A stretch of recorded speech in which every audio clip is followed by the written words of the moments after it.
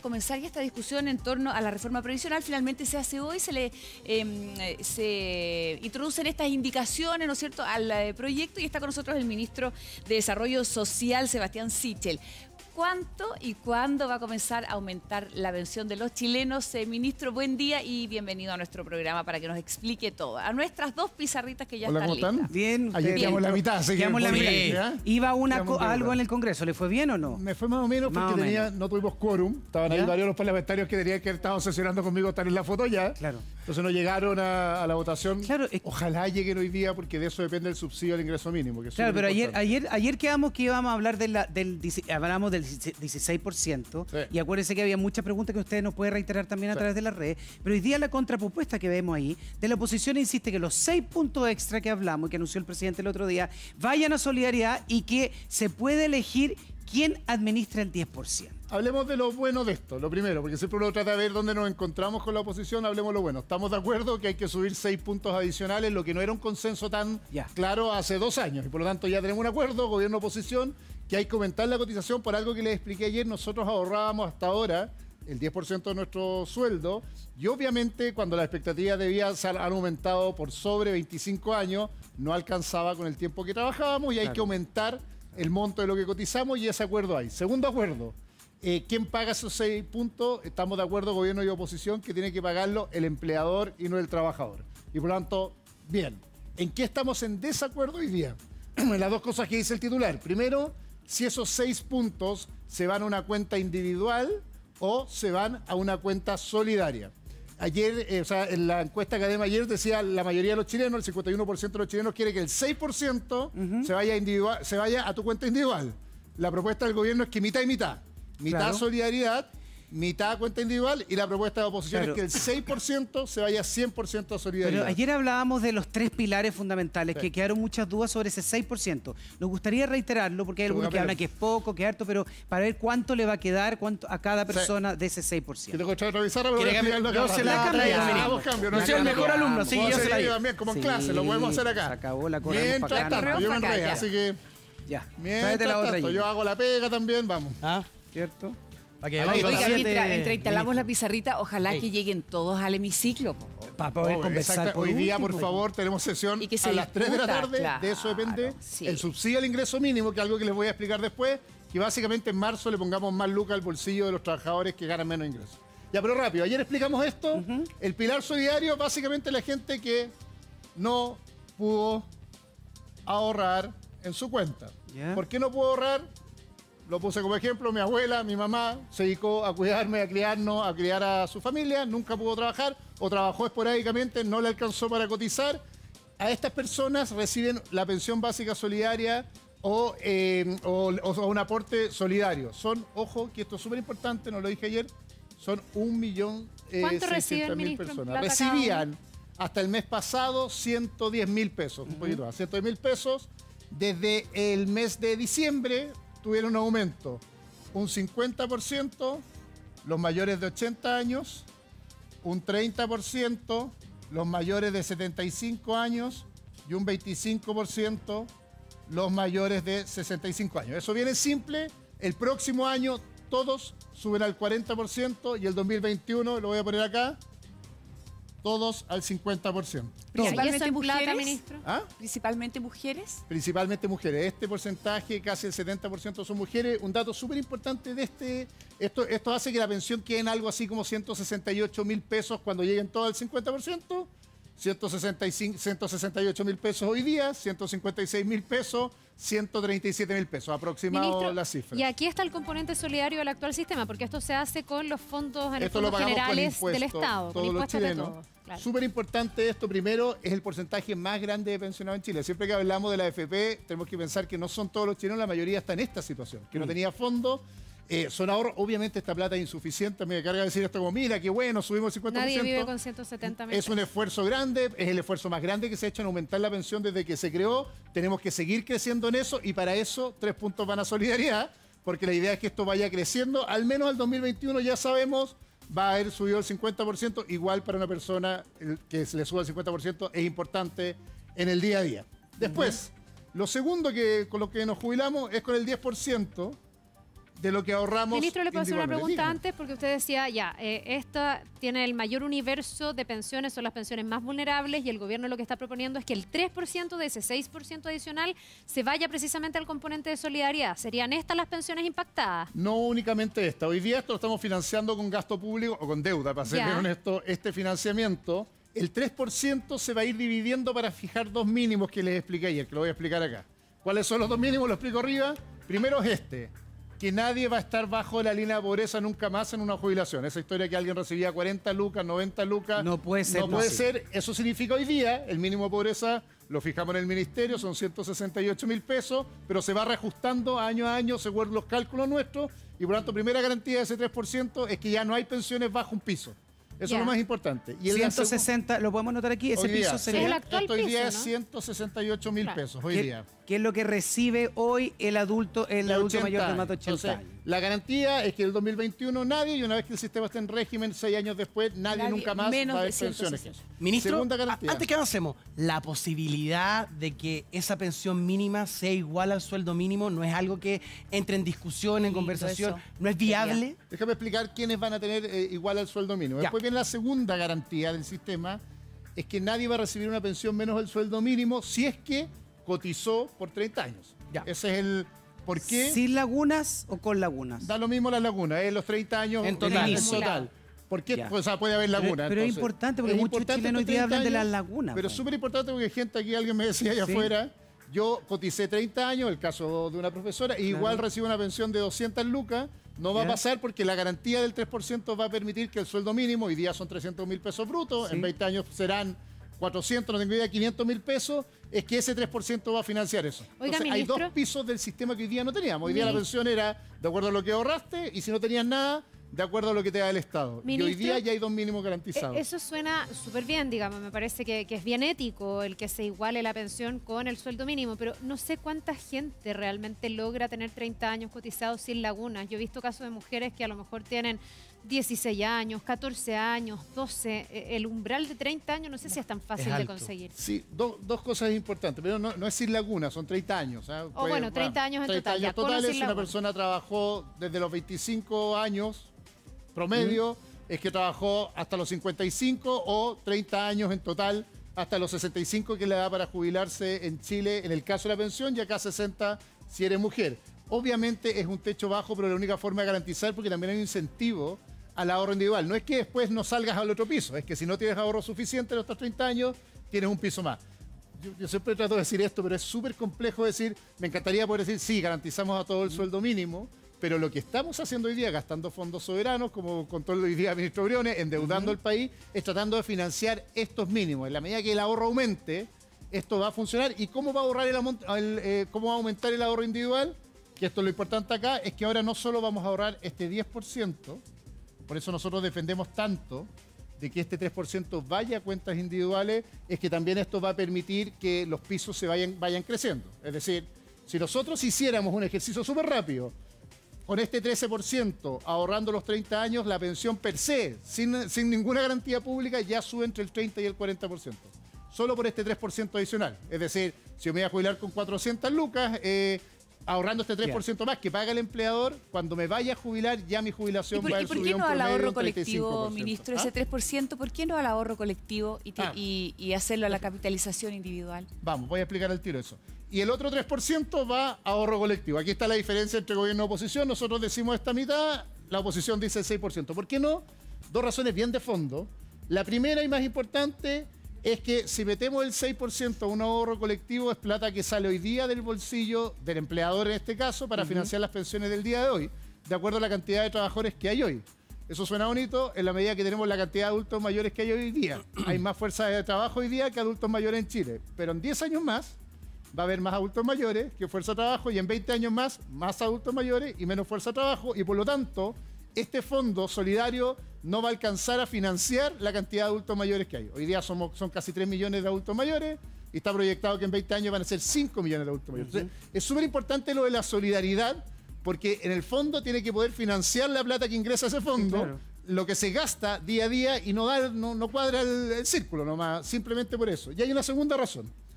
eh, que además hay un incentivo a cotizar si va a una cuenta individual, a que tú persigas a que el trabajador no te haga un contrato eh, sin cotizaciones, a que te depositen la cuenta, a que tú monitorees la cuenta, si no, básicamente nos va a pasar algo bien obvio. ¿Qué me importa a mí ese 6%? Por lo tanto, en la negociación uno a uno, un trabajador puede decir, ¿sabe qué?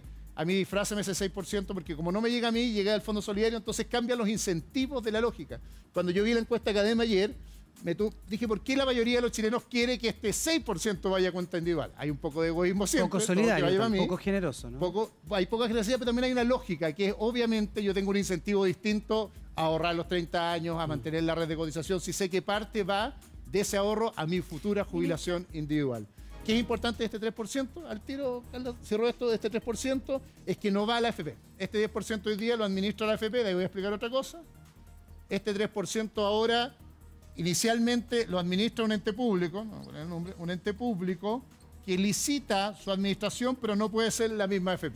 Por lo tanto, genera incentivos distintos y competencias distintas, y como ha dicho la ministra Saldívar, y además no se cobra comisión. No me va a cobrar comisión No, por lo va a pagar el. Estado. Eh, como, como lo administra el ente público, el Estado con su con el ¿Ya? gasto público financia la ¿Y comisión. quién administra que este 3 vaya, vaya creciendo? Este ente público. Lo ¿Qué- licita, el ente público lo licita a un tercero, que puede ser una institución sin fines de lucro, una administradora, puede ser hasta ¿Puede un ser una. AFP también o no? No, no puede ser una AFP. Ya, muy bien. Eh, puede ser un banco y tiene que ofrecer la mejor rentabilidad posible y el Ya. Estado es quien adjudica este 3% y yo voy viendo mi aumento con la gran diferencia que no tiene comisión. ¿Y este 3% de alguna forma yo voy a poder sacarlo después de algún tiempo de cotización eh, para poder ser mío o no? Cuando te jubiles.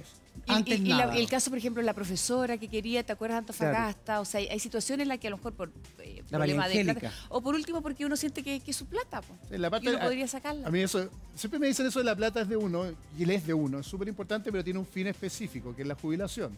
Hay- hay- no es el único límite que tenemos en la propiedad. Yo antes de los 18 años no puedo disponer de mis bienes si es que tuviera algo y esperan que tenga 18 años. Aquí es lo mismo, es tu plata, pero puedes disponer de ella cuando te jubilas, a los 60 o 65 años.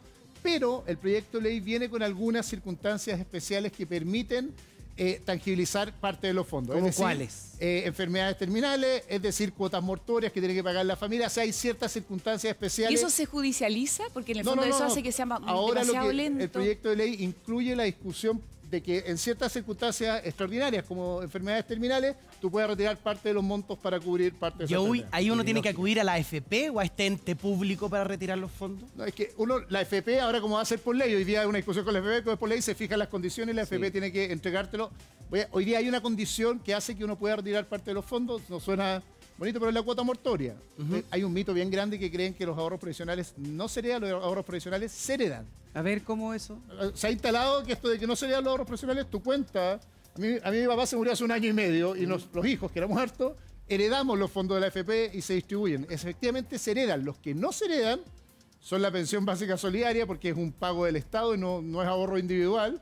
Y los que no se heredan muchas veces, dependiendo del pacto que tienes, son la renta vitalicia.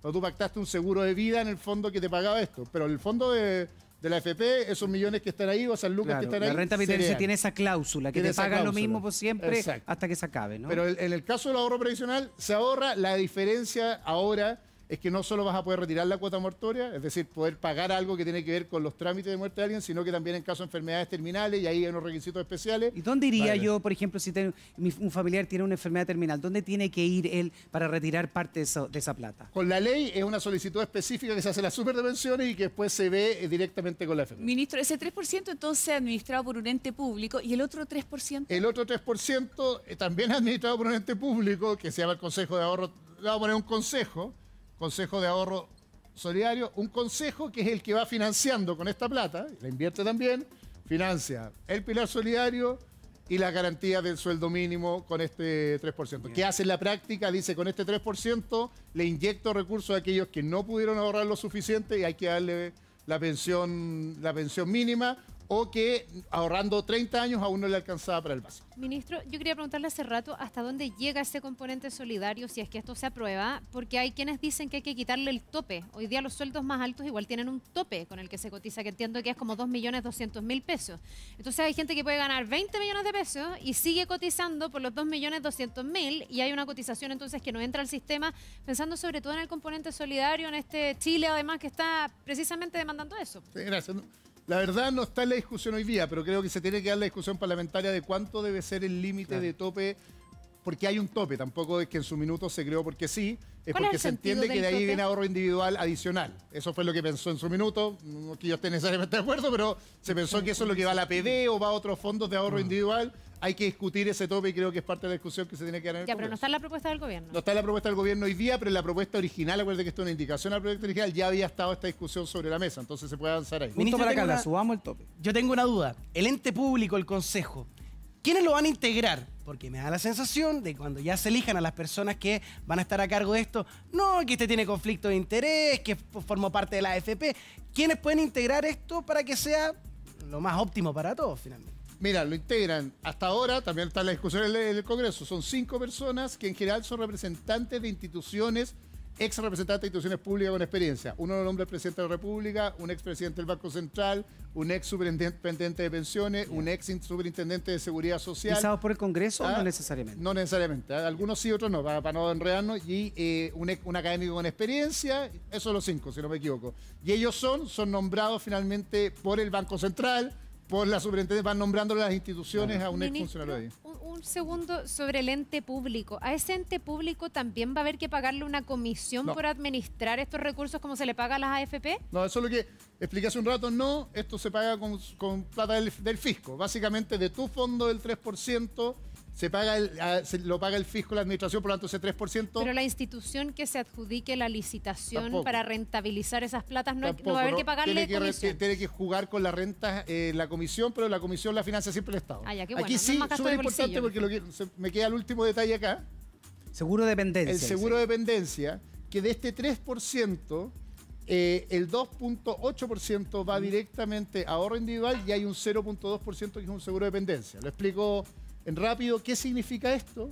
Que básicamente tú cuando caigas, cuando eres adulto mayor y caes en dependencia severa, es decir, que no te puedes movilizar por ti mismo, necesitas cuidado, esto te va a asegurar que va a subir tu pensión según el tramo de, de pensiones, pero entre 60 y 80 mil pesos adicionales si estás en situación de dependencia. Entonces, ¿qué, qué está haciendo en la práctica? El 3% va para tu pensión directamente, de los cuales 2.8 son para tu bolsillo, pero vas a tener un seguro que se gatilla en el caso que caigas en dependencia severa, el 30% de los adultos mayores están en esta situación, y por lo tanto hay una adicional a esta garantía a partir de este seguro de dependencia. Ministro, muchos se preguntan, nos preguntamos también por qué en este proyecto no se toca eh, las pensiones de las Fuerzas Armadas, que tienen un sistema de reparto versus el nuestro que, que no es así. ¿Por qué no hay una intervención ahí? Dos cosas bien importantes. Hay un proyecto de ley paralelo que está discutiendo hoy día las pensiones de las Fuerzas Armadas. Como esto regula este mercado de las pensiones, está, pero hay una discusión hoy día que alarga la carrera, la carrera militar, que atrasa la jubilación, que cambia el modelo de pensiones. Entonces hay una discusión en paralelo en el Porque es Congreso bien dispar lo que recibe la Fuerza Armada a, a un civil. Exactamente, y, pero tiene una, una situación distinta también. Pero yo quiero decir, hay una discusión en particular que presentó el gobierno para ir regulando de mejor manera eso. Una cosa que no quiero que se me olvide, porque lo vi ahora en el dibujito, que creo que es lo más importante en el corto plazo. Esto es para los que se van a jubilar en el futuro, ¿cierto? Ya. Pero tenemos un problema. Pero alguien que vaya a jubilar en dos meses más, esto le va a beneficiar. le va a beneficiar, particularmente lo que voy a explicar ahora. Así que el problema es que tenemos, yo me he rayado, de este sistema de acá, de ahorro personal, hay un millón de personas que hoy día están pensionadas. Estoy Listo. aproximando para que después no se ponga alguien específico, es casi un millón de personas que hoy día están recibiendo su jubilación. Alguien me preguntó por acá, mira, yo me voy a jubilar en dos meses, ¿qué hago? El problema nuestro es que este, este proyecto avanza progresivamente en aumentar estos montos, no son de una vez. Obviamente esto impacta un poco el costo del trabajo, pero tenemos un problema con la gente que está hoy día pensionada de clase media y recibe, no tiene ninguna de estas garantías.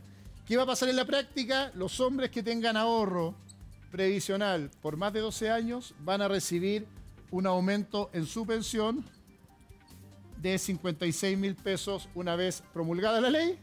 Mujeres que hayan cotizado por 8 años van a recibir un aumento en su pensión perdón, de 70 mil pesos. Sin importar el monto que reciban de Sin pensión. importar el monto que reciban, no los que están en pilar básico solidario, Los sino los que tienen ahorro personal del 10% están jubilados por la AFP. Esto es quizás lo más relevante al día de hoy.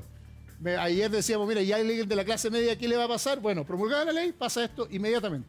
Se les paga directamente en su cuenta, si tú tenías una pensión de 150 lucas Ya. y estás en, nuestra- en estas Pero condiciones, alguien que tuvo, pero ¿Por alguien que tuvo la suerte de tener una pensión de, no sé, más de 800 mil pesos. No, ellos no. ¿Quiénes Ellos están no excepcionados? Todos los que tienen pensiones sobre 700 lucas. Eso es lo que le quería. Ahora, la eh, línea la de verdad, eso es Muy poquito. Muy sí. poco. Poquito, sí. ministro, yendo, yendo como al, al origen y a propósito un poco de lo que decía eh, Gino, cuando partió esto se hablaba de que em, mucha gente dijo, me, obligaron a cambiarme el sistema, yo estaba en el sistema antiguo y de pronto me, me vi obligada, yo nunca quise, porque la promesa además era de jubilar con el mismo sueldo, que el 100% del sueldo que uno estaba recibiendo en ese minuto. Ese, ese sueño, se lo pregunto a propósito de que se habla de que esto puede ser un poco un maquillaje, un sistema que, que- que no ha funcionado.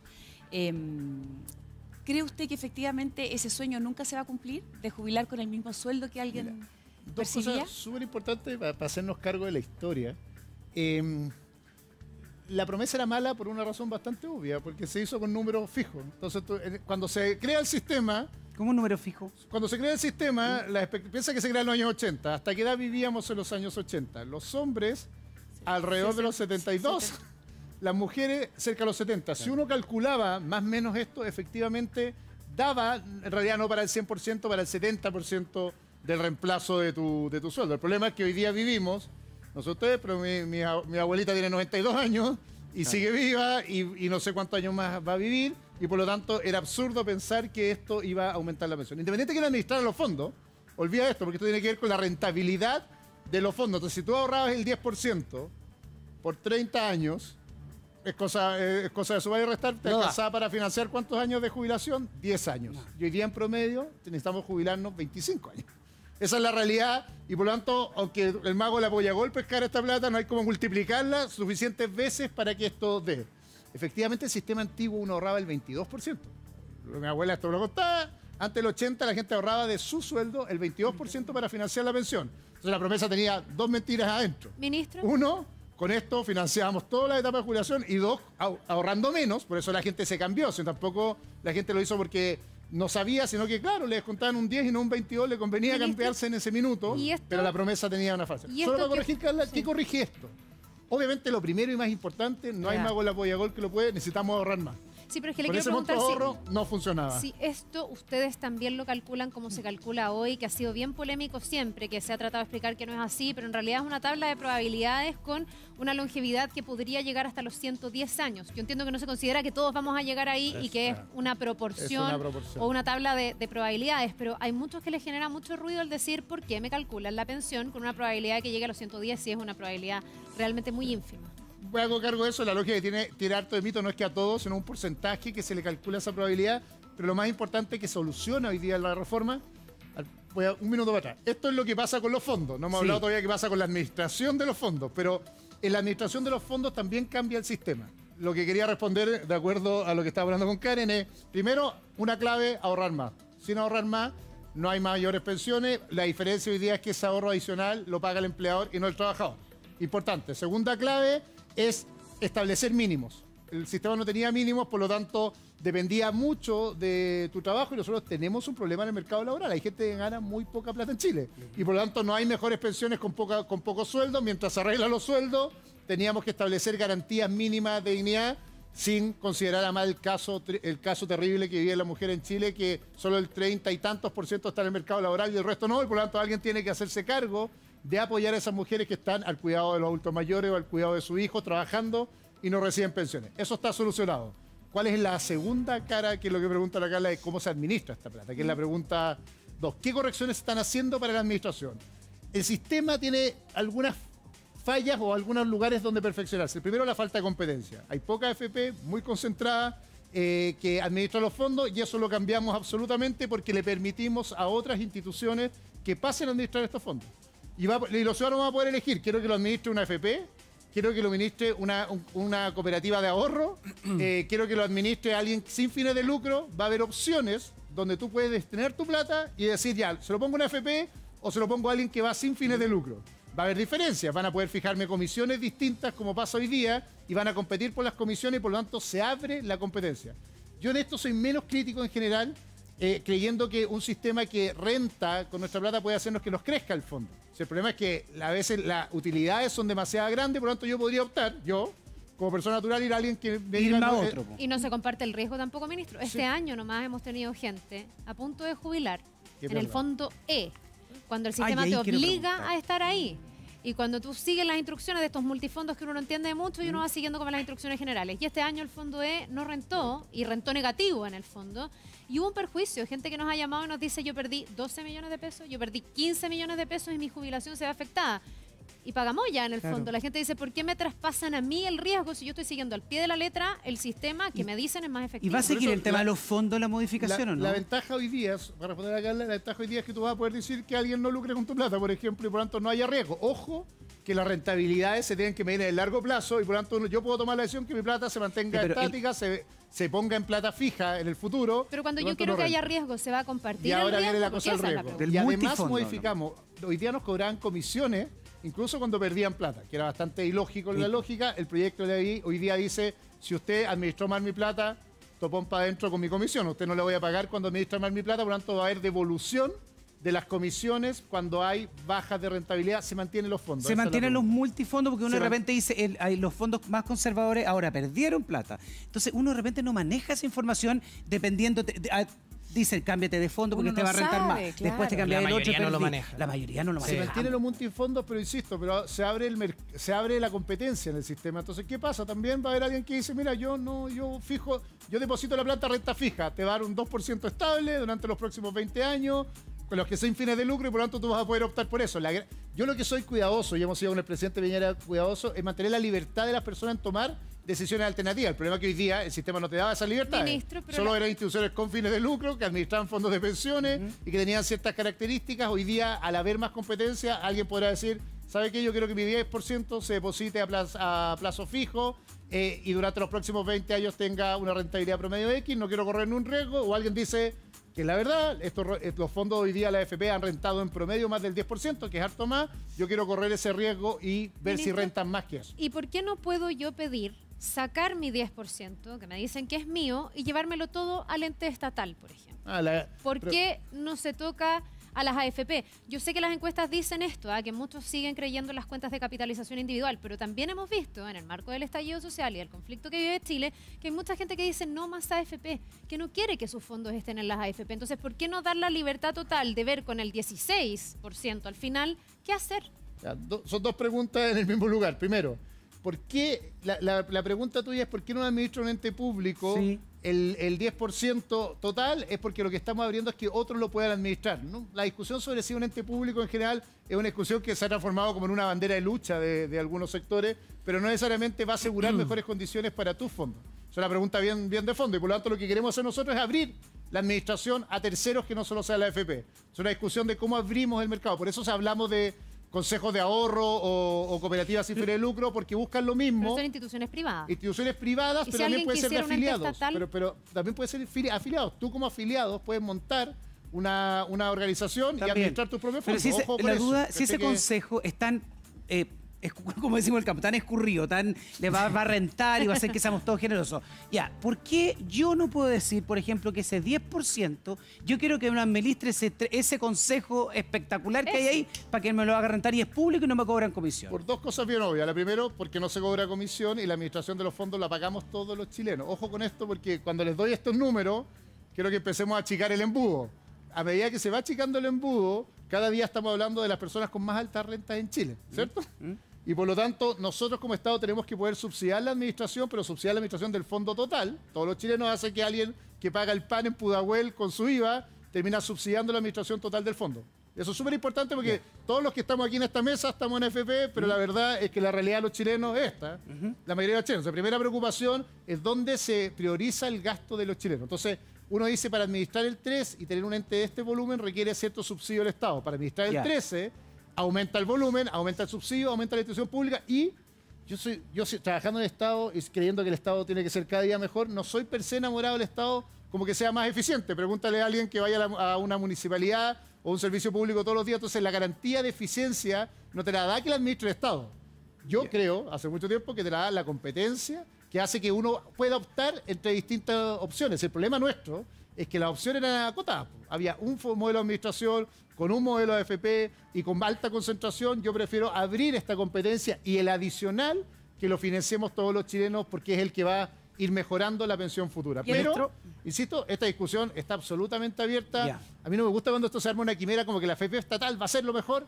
Yo hasta tengo dudas razonables de que así sea en el mercado, pero tampoco creo que es un talismán, como que no puede hacer o sí puede hacer. Mi gran discusión es que en realidad la promesa de que el Estado va a administrar mejor los fondos per se, dudo. ¿Ya? Ministro, yo me quedo pendiente una cosita de las comisiones. Porque uno cuando empieza a ver el tema de los fondos, oye, no, te está rentando más, cámbiate. Y yo creo que la realidad de los chilenos es que no entendemos prácticamente nada. Y uno está en el que ingresó después que te obligan a estar en lo otro. Y uno termina pensionándose con lo que te tocó. No hay tanto cambio de los fondos. Los más entendidos probablemente sí. Pero con el tema de la comisión, si los fondos en realidad yo terminé perdiendo plata, ¿es automático el no cobro o la Sí, devolución de la comisión? o yo nuevamente No, no, no, tengo que ir, meterme al sitio web?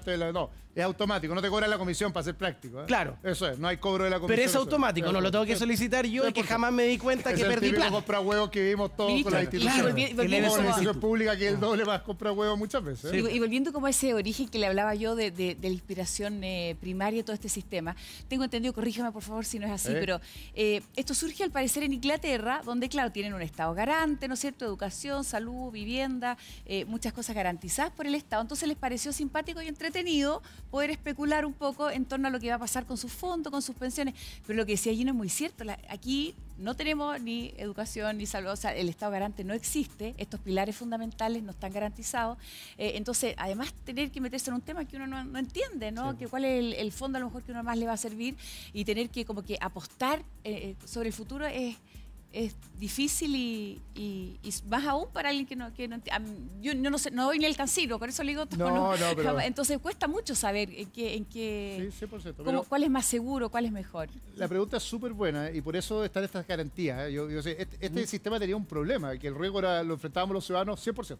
Esa es la verdad. Claro. O sea, ahorrábamos, no ahorrábamos y al casino. Yo trabajaba en el gobierno del 2008, 2009, cuando se crea la pensión básica y hasta ahí las mujeres no tenían, o hombres que no trabajaban o no pudieron trabajar o trabajaron en su hogar, tenían cero Hola, financiamiento del Estado. Ojo que también yo soy menos eh, yo he visto el- la evolución del país, lo veo como va- vamos avanzando en pasos gigantes hacia establecer cierta, cierta garantía. Y lo hemos hecho.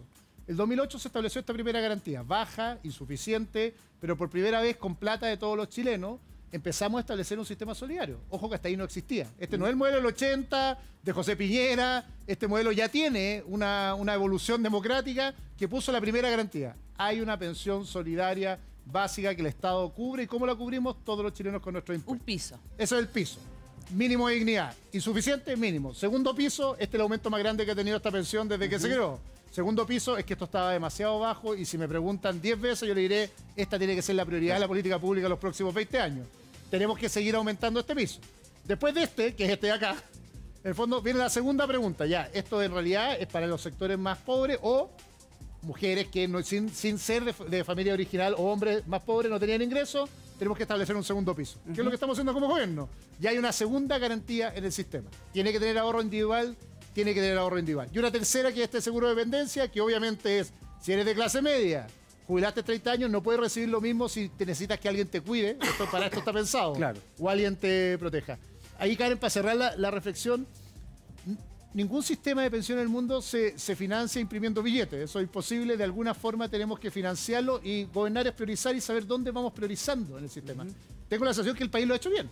Primer paso, segundo, paso, tercer paso. Tengo la sensación que fuimos indolentes y no reaccionamos rápido a hacer estos pasos y esa es la crisis que estamos viviendo hace 90 días. Teníamos unas discusiones macro de qué íbamos a hacer con la AFP, si el sistema iba a Sí. perdurar o a perdurar, pero nunca solucionamos el problema de, me que- de fondo, que era que las lucas aumentaran para las personas que estaban Pero ahí me quiero detener. Si ya las AFP se van a mantener, ¿usted es partidario de que se limiten las utilidades de la AFP, ya que no es un negocio cualquiera como un almacén, un supermercado, sino que tiene que ver con el futuro Yo, de los chilenos? yo estoy más preocupado, la verdad, de cuánto van a recibir de pensiones. Esto, esto porque la limitación de las utilidades puede ser un desincentivo para que no aumente la, lo- la plata que le llega al bolsillo a la persona. Porque obvio, si Pero, tú decís, ministro, no si se le ¿Cómo? puede pedir una, una mínima Sí. ética a las AFP Es porque, que en el fondo, porque en el respuesta. fondo usted dice un desincentivo, pero uno esperaría que quienes están encargados de la protección que social bien, de po. alguna manera no hagan esto por amor al negocio solamente, sino que sea optimista de la algo ético. competencia, Carla. Yo creo que va a pasar que van a aparecer instituciones sin fines de lucro, que van a crear sin fines de lucro, cero distribución de utilidades. De hecho, se anunció este año la y creación nos vamos a ir para allá. de- no, y que por lo tanto, o nos vamos a ir para allá, o va a haber un incentivo a las, a las AFP a no obtener las rentas que tienen porque va a haber un juicio respecto a las personas que pueden cambiarse en el sistema y dicen, mira, ¿sabe qué? Ellos rentan, no rentan con mi plata. No rentan con mi plata y por lo tanto se los pongo a ellos. Me voy para allá. Me voy para allá. O usted tiene tan alta rentabilidad con mi fondo que no me importa que usted rente y quiero depositarlo allá. Lo que no estoy disponible o no, no tenemos que conversar bien de fondo Mm. es que la gente no puede decir entre las alternativas. Y también me parece valioso que un ciudadano que esté escuchando diga, ¿sabe qué? A mí no me importa cuánto es la utilidad de esa persona. Lo importante es lo que me Lo llegue. importante es lo que me llegue a mí. Sí, pero y eso, ministro- ojo que en las encuestas es bastante más fuerte. Pero también lo que no teníamos la posibilidad hoy día es que yo, yo, que sería mi posición, dijera, ¿sabe qué? A mí sí me importa cuánto es la utilidad, no me importa tanto mi renta, porque gracias a Dios estoy, por mi pega y todo, estoy en los mejores ingresos de Chile, por lo tanto voy a poner la plata donde menos renta, pero menos utilidad sigue la persona. pero- una pero yo discusión, creo- decisión ministro- que le entregamos a las personas y es legítimo que así sea. Yo Carla. creo que igual aquí hay una discusión de fondo que tiene que ver cuál es el rol del Estado frente a sectores que no pueden, a mi juicio, quedar como al libre albedrío del mercado, porque usted me dice, yo confío en que la mayor competencia va a generar estas ventajas. Lo que hemos visto es que las AFP funcionan todas más o menos igual. Se ha abierto nuevas AFP al sistema y básicamente siguen, a lo mejor con comisiones un poco más bajas, pero la lógica es exactamente la misma. Deja, deja Entonces, no sé si el. Estado puede necesariamente como dejar eh, en manos del mercado el que esto se autorregule. ¿No Pero, debiese el Estado regular mejor el tema de las utilidades? Una premisa que se instala como una verdad, yo quiero corregirla. No es verdad que ha seguido exactamente igual. Las comisiones hace, hace 10 años eran un 4% y hoy día estamos viendo que hay algunas que están bajo el- un punto simplemente sí, pero eso porque se que tenía licitó. impacto en las comisiones, pero no en la lógica del Es sistema. en nuestra plata, ojo, en nuestra plata lo que más impacto tiene en este 10% es cuánto me cobran co- por comisión. Eso es lo- esa es la verdad. De este 10%, cuánto se me dan comisiones lo que me, es lo que me preocupa en el día a día porque va disminuyendo mi 10%.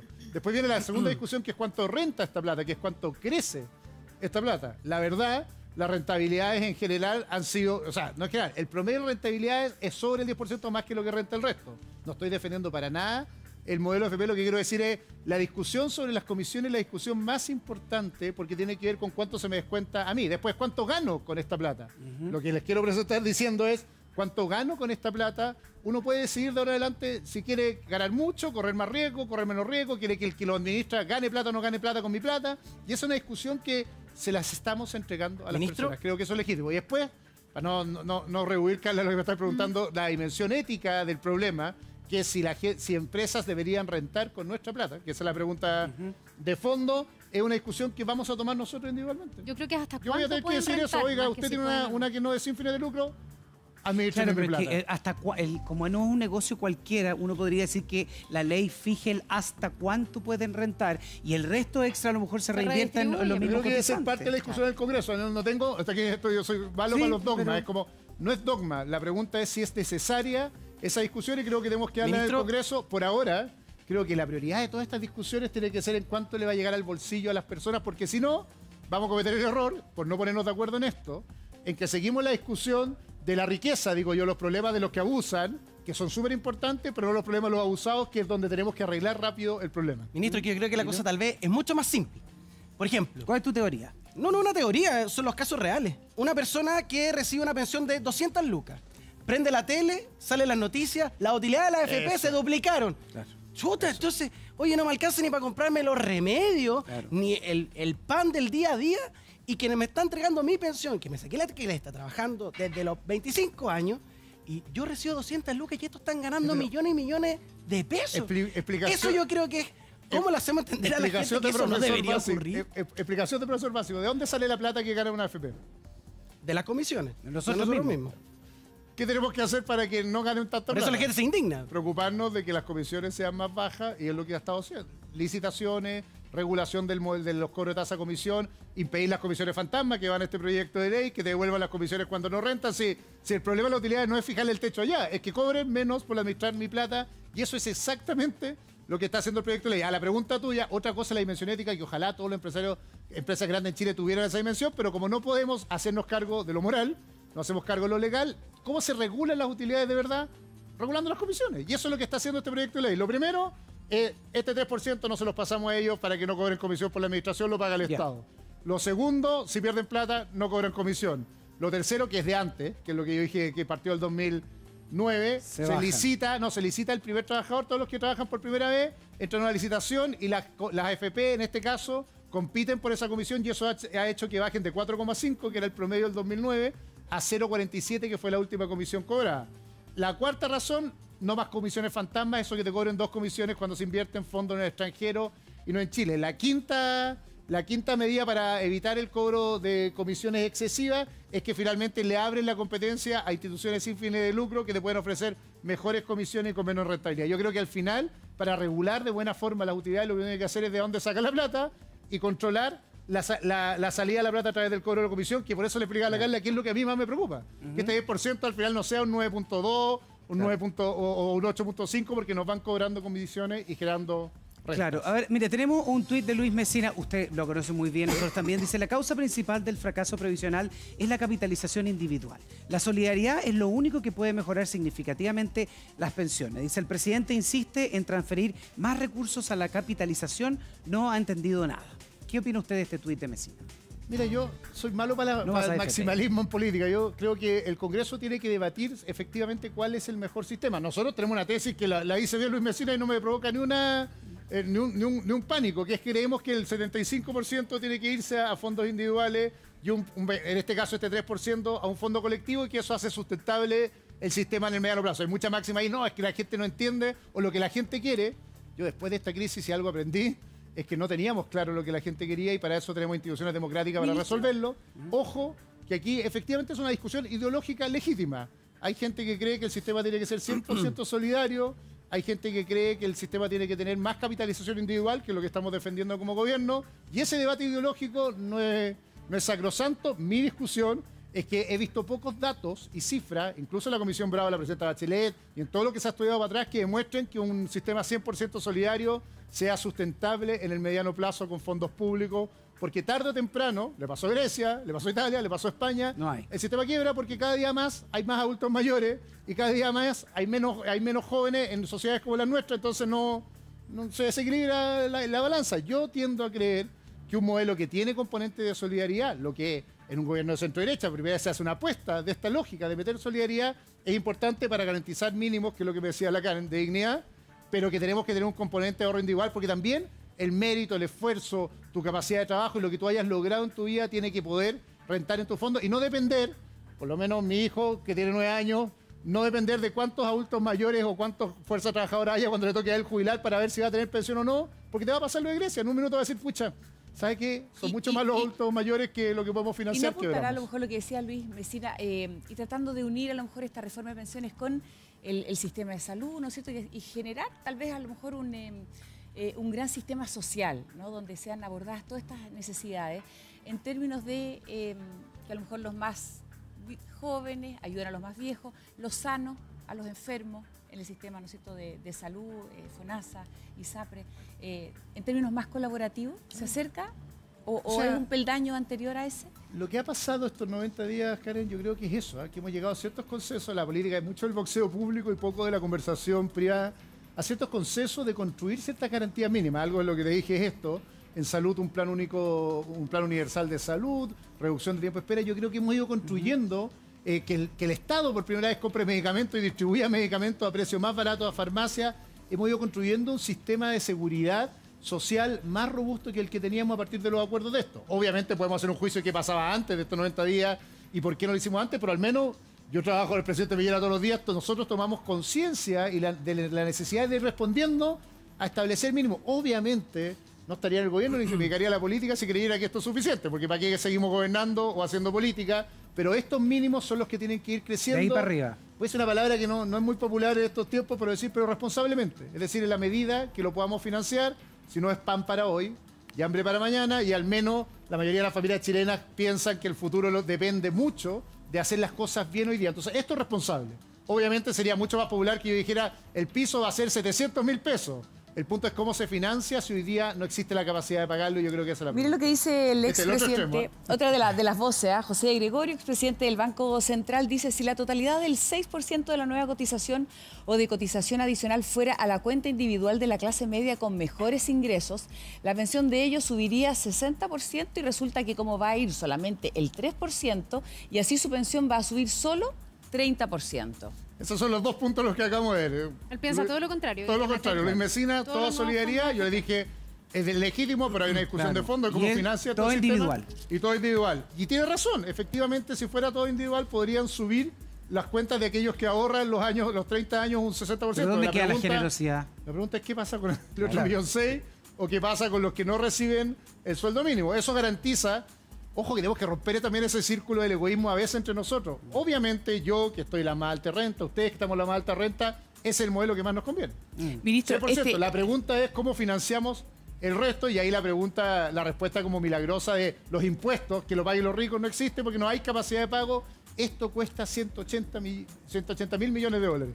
Aquí, mira, Gino, dale, ya. Sí, mire, tenemos preguntas en nuestras redes sociales. Frank García dice, las mujeres se pensionan a los 60 años y algunas que están con Pilar Solidario deben esperar hasta los 65 para recibir el aumento que usted menciona. Tiene toda la razón. Eh, y es la, es la verdad eh, que es así. Yo ayer puse el caso de mi mamá, vuelvo a ponerla. Mi mamá tiene 60 años, tenía un poquito de ahorro de las pocas pegas que hizo en su vida, que no fue cuidarme a mí. 60 años su mamá. Mi mamá 60 años, yo los joven. 17, así que muy joven. joven. Entonces, eh, mi mamá me, que esto me lo- me- llamó ayer después de verme acá a preguntarme exactamente lo mismo. Me dijo, Ya. yo tenía un poquito de ahorro, ella trabajó en pegas así esporádicas en su vida porque le tocó cuidarme. Y me decía, oiga, entonces yo tengo que esperar hasta los 65. Retiró su fondo, recibía 40 lucas durante un año que le alcanzó a recibir. ¿Ya? Eh, se le acabó el fondo de la FP tiene que esperar hasta los 65 y le tuve que decir, lo mismo le diría, sí, es así, la edad de jubilación para la pensión básica es a los 65 años, eso permite que sean estos montos, si uno retrocede 5 años, es imposible financiar estos montos Pero igual eso es injusto, ministro, porque es como decirle a las mujeres que tienen que vivir cinco años en el limbo. Porque si en el fondo uno se va a jubilar a los 60 años, debiesen los beneficios del Estado, etcétera, empezar Claro. a regir ahí, ¿o Lo que pasa es que la- ahí es- puedes retirar tus fondos de la FP a los 60 años. La jubilación que paga el Estado empieza a los 65. Y es la- impagable el poder adelantar la pensión Yo me encantaría poder decir que sí, 60. pero es impagable en montos. Si, si uno calcula los montos que significa esto, 1.600.000 personas, en promedio en 168.000 personas, y amplía, este millón seis, te acuerdas que dije era el 70% mujeres, ¿cuánto? Aprox es un, po- es un poquito más de un billón, el monto a, a financiar hace imposible, por lo tanto tendrías que reducir el monto del resto de las pensiones. Claro, mira que hay otro tuit. Y además con las expectativas de vida que estamos diciendo. Efectivamente, si esto hubiera pasado hace 20 años, no diría no, pero las mujeres en promedio hoy día viven sobre los 90 años. Entonces se te dispara el final. Ministro, la, encantaría poder Marcel- hacerlo. la Marcela Vargas dice, buenos días TVN, tengo 37 años cotizando, soy profesora, mi jubilación será de 200 mil pesos. ¿Cuándo llegaré a igualarme con el sueldo mínimo? Dos respuestas concretas a la Marcela. Aprobada la ley, en su situación, inmediatamente ya le va a subir 70 mil pesos la pensión. Esto es súper concreto porque 270. va a quedar. ah, va, va a quedar en 270. Cotizó 37 años Sí. y cuanto supera por lejos los Sí. 80 años, va a subir los 70 mil pesos. ¿Estás jubilada ya? ¿Será? Ah, no. Sí.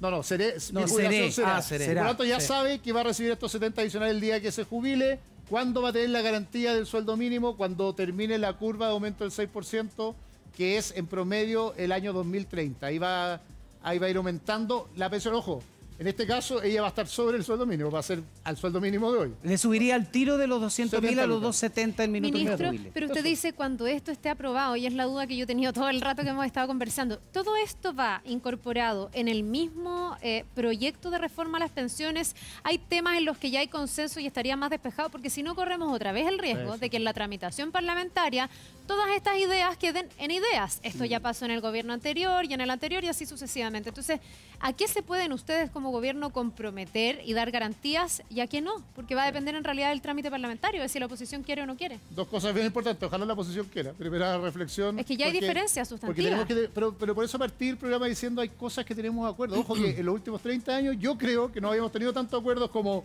en cuanto que comentar el fondo, quién administra el fondo. Acá la posición de que tiene que ser solamente quien administra el fondo. La discusión está hoy día en particular en cuánto se va.